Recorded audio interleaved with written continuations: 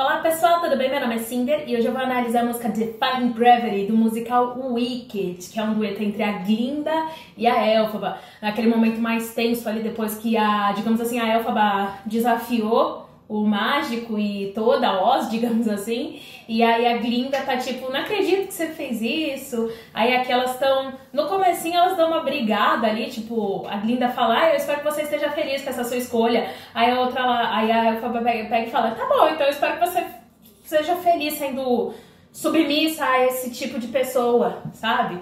Desse jeito aí, enfim. Então vamos lá, vamos dar uma, mas vamos analisar principalmente a voz em si e o jeito como elas transparecem o sentimento da música ali dentro, né? Enfim. Why couldn't you stay calm for once instead of flying off the handle? I hope you're happy. I hope you're happy now. I hope you're happy how you hurt your paws forever. I hope you think you're clever. I hope you're happy. I hope you're happy too. I hope you're proud would grovel in submission to feed your own ambition.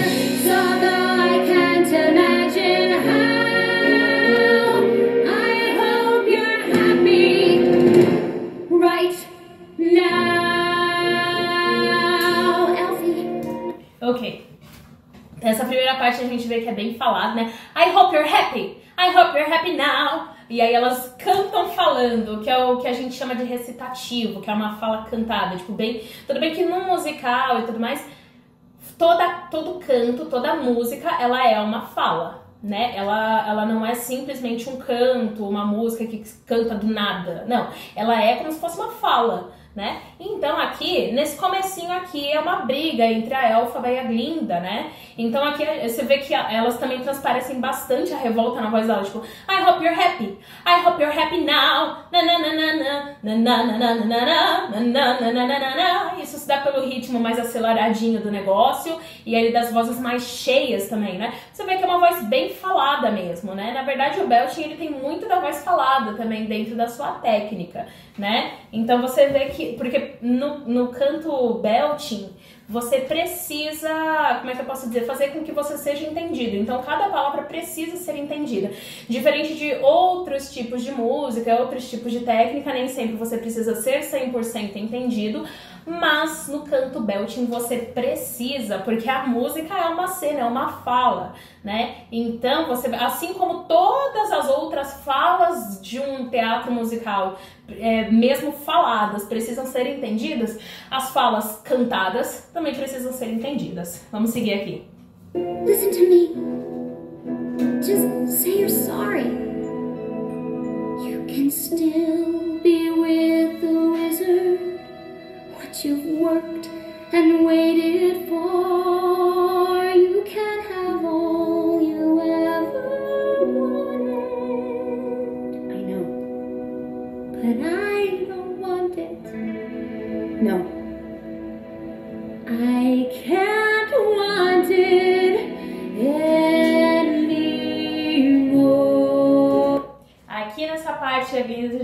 Tentando convencer a pedir a Elfaba a pedir desculpa e tudo mais, que é mais fácil, né? E aí a Elfaba ela fala assim, né, eu sei de tudo isso daí que você tá falando, mas eu não posso mais fazer isso. Né? Ela não pode mais fingir, nanana, não pode ficar mais aceitando tudo e tal. E aí aqui você já vê, diferente do começo, que já é uma coisa mais, mais pancada, aqui não, aqui já é uma coisinha mais suave, porque na verdade a Glinda e a Elphaba elas são amigas. Mas aí acontece né, nesse nessa música aqui um conflito, né? Porque a Elphaba tá se rebelando, ela que sempre foi muito boazinha com todo mundo, aceitou tudo. Aqui não, aqui ela não tá, se, não tá aceitando. Já a Glinda, ela nunca teve aquela opressão, digamos assim, que a Elphaba sempre sofreu. Que ela sofria, ela era reprimida de vários lados. Então, tanto do pai dela, quanto da irmã dela, que também né, não era tão legal assim com ela, né? Embora assim, a irmã dela, ela só não era assim, tipo, tão legal assim com ela por conta da, do pai, né? Na verdade, a, eu imagino até que a, que a Nessa, que é a irmã da Elfaba, ela gostava da Elfaba, queria tratar ela melhor e tudo mais, mas o pai ele sempre fazia a cabeça, meio que a cabeça dela, né? Mas enfim, então assim, ela sofreu repressão e sofreu repressão também da escola, né? Só teve um momento ali que ela se sentiu reconhecida, que foi quando a professora dela ali viu que ela tinha grandes habilidades mágicas e aí chamou ela para conhecer o mágico de Oz, né? Enfim, aí ela, ela, ela só queria, basicamente, ela jogou, ela fez, jogou lá um feitiço nos, maca, feitiço nos macacos lá, e aí que eles estavam presos, que eram cobaias, né? E aí ela jogou esse feitiço nos macacos. Aí, se eu não me engano, é aí que eles ganham asas, agora eu não lembro direito. Mas ela pediu pro mágico libertar eles, enfim. Só sei que no final das contas ela ficou conhecida como a vilã porque o mago que era o ruim, né? Você, eh, você está, se você nunca viu, você está recebendo um spoiler aqui de mim. Mas, não, mas essas informações não tiram nada da, do negócio, né? Mas até a Glinda, até um certo tempo, fez bullying com a Elfaba, né? Até que um determinado momento ela viu que a Elfaba ela era uma pessoa legal e tudo mais, aí elas acabaram virando amigas, né? Então ela gosta muito da Elfaba, a Elfaba gosta muito dela, e aí mas tem esse momento de conflito, porque a Glinda ela sempre foi adorada por todos, né? E aquele sistema ali que ela vivia sempre foi um sistema bom para ela, diferente da Elfa, nunca foi um sistema bom para Elfaba, né? Então são, são duas visões diferentes, né? Uma que, que esse sistema em específico aí, tanto de Oz quanto ali, enfim, do, do, do, lugar ali, do ambiente, né, da ambientação do universo do musical sempre foi bom pra Glinda, mas sempre foi ruim pra Elfaba, né? Então é uma coisa meio 880, não é que ele é ruim ou bom, né? Mas é, pra, um, uma pessoa boa, pra uma pessoa ruim. Enfim, aqui no caso, então, a Glinda, ela tá tipo, não faz isso, pede desculpa, é só isso. Já a Glinda, a Elfaba fala que não, não posso pedir desculpa, só que ela não fala brava, ela só fala, tipo, tentando fazer a Glinda entender.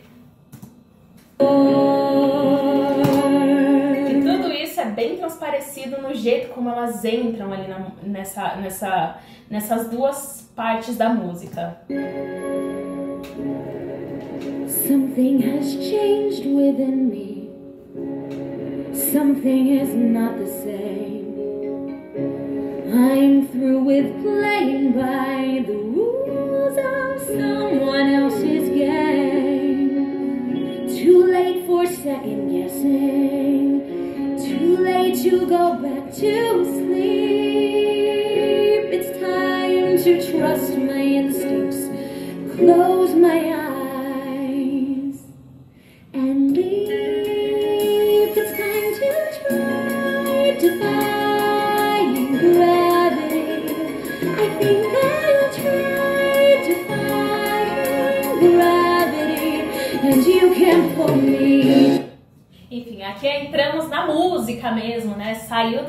do recitativo e entramos na música, Define Gravity, né? Aqui você pode ver que agora mudou de novo, mais uma vez mudou aquela, aquele sentimento da música, né? Você vê que já é um sentimento mais de imponência, assim, de que as coisas estão mudando e de que a Elfaba, que sempre foi uma pessoa muito, muito insegura, agora tá, tá tá ganhando mais imponência, mais importância, mais empoderamento e tudo mais, né?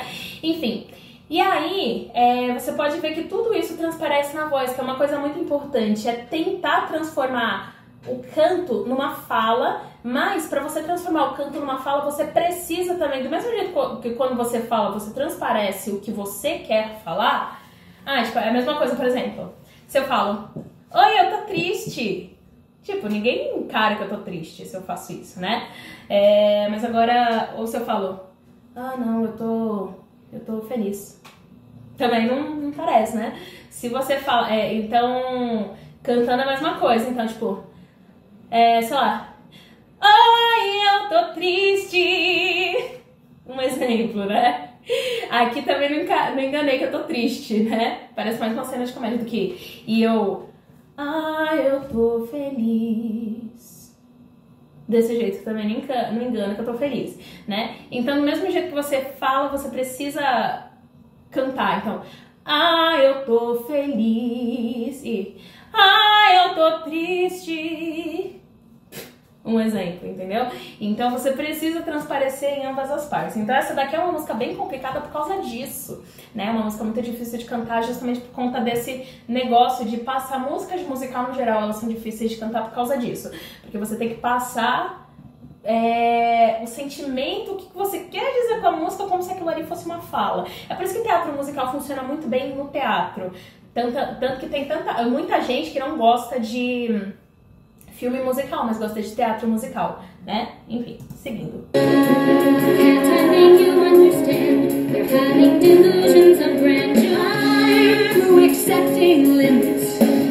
Someone says they're so.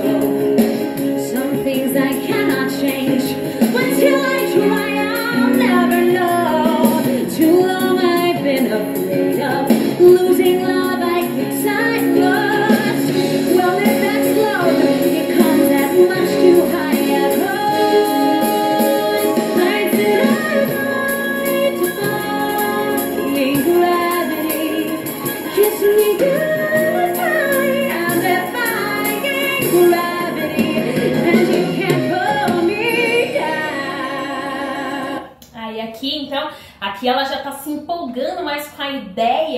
De que agora ela vai desafiar a gravidade, é, né? Esse desafiar a gravidade é mais no sentido de tipo, agora eu vou, como é que é? O que, o que ninguém esperava de mim, eu vou fazer. Eu, eu sou capaz de tudo, até de desafiar a gravidade. O que acontece mesmo, que no, no meio ali da música ela voa. Né? Ou seja, ela literalmente desafia a gravidade ali, mas é meio que simbólico essa, essa frase do desafiar a gravidade, né? Porque a música em si, ela não é só sobre ela voar, né?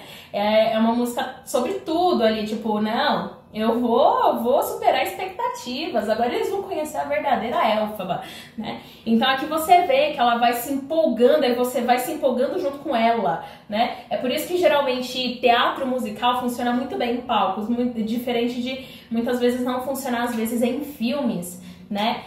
Então, porque no teatro, ali no palco, muitas vezes o, o negócio é muito mais envolvente do que num filme, né?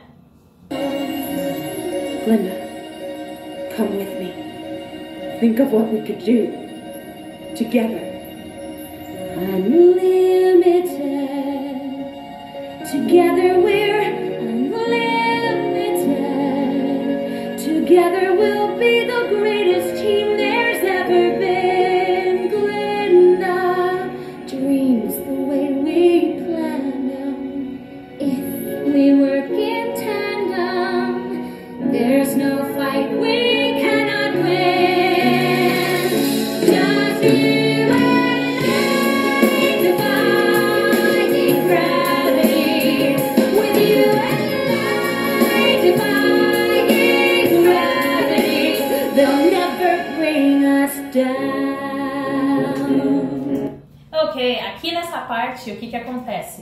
Ela sente todo aquele poder, ela sente que ela pode tudo e ela quer fazer isso junto com a amiga dela, a melhor amiga dela, Glinda, né? Então ela chega ali na Glinda e fala: Glinda, vem comigo.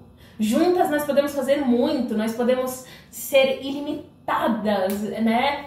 É, E aí a Glinda, ela, tipo, ela se empolga, assim, com, com a empolgação da Elfaba, com a felicidade da Elfaba, porque ela sabe que a Elfaba não é uma pessoa que viveu muito feliz durante a vida, não teve uma vida muito fácil, então ela fica feliz com essa, com essa descoberta dela, independente dela estar super preocupada, né? Mas ela fica feliz da Elfaba ter meio que encontrado seu lugar. E aí ela começa a cantar junto para compartilhar dessa felicidade com a amiga, né?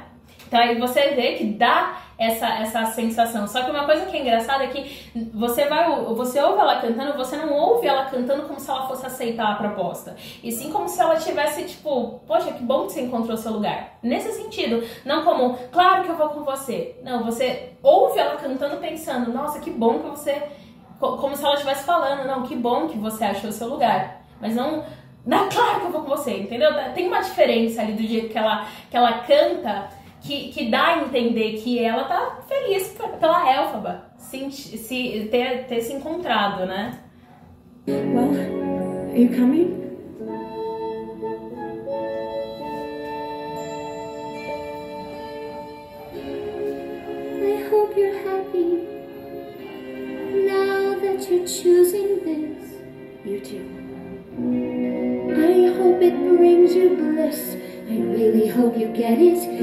Don't live to regret it. I hope you're happy in the end. I hope you're happy, my friend. Aí aqui você pode ver que a Glinda ela não aceitou a proposta da Glinda, mas da Glinda, da Elfa, ela não ia com ela. Mas ela é aquele negócio, ela, ela tá feliz pela amiga, independente de ser algo extremamente perigoso, né? E que provavelmente elas vão ficar em lados opostos. Ela tá muito feliz pela amiga e ela quer que a amiga seja feliz na escolha dela. Só que não é a mesma que ela, não é esse mundo que a Elfa vai escolhendo não é o mesmo, né? E aí você consegue ouvir ali através da voz dela, da Glinda, né, que ela fala I, I hope you're happy,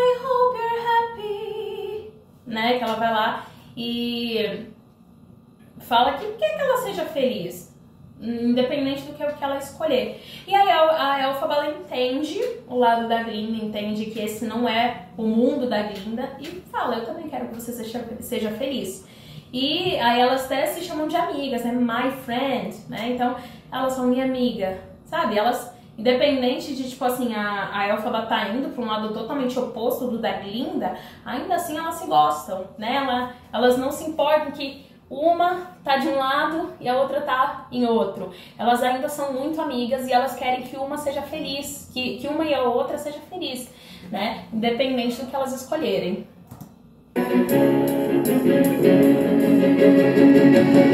So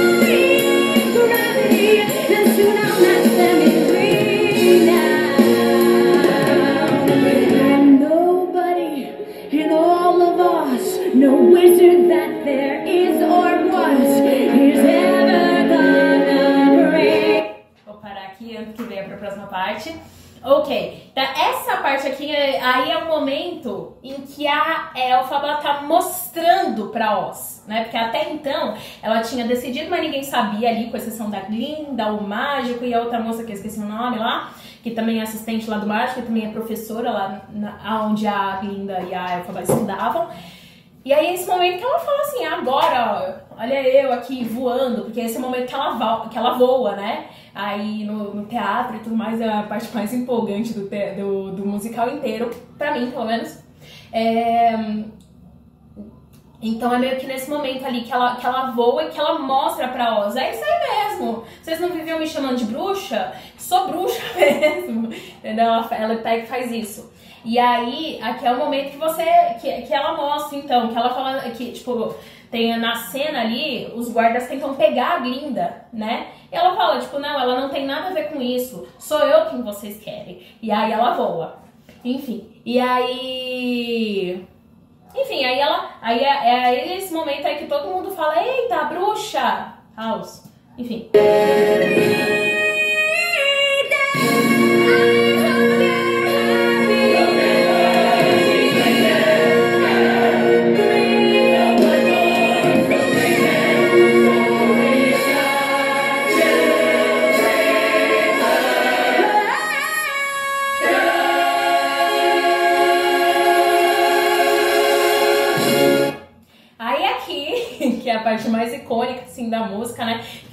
Tem o gritinho do... ah, que ela faz, né? Que é bem difícil fazer sem aquecimento, sem aquecer o apoio. Mas enfim, que ela faz, é, aqui é aquele momento lá que ela voa e fala que ninguém Oz vai... Ninguém, não importa quem seja, vai, vai derrubar ela, nunca mais. E aí, de um lado, tem a Glinda falando, eu espero que você seja feliz, só que assim, tipo, não irônica. Ela tá, tipo, realmente querendo que ela seja feliz na escolha dela, porque agora não tem mais volta.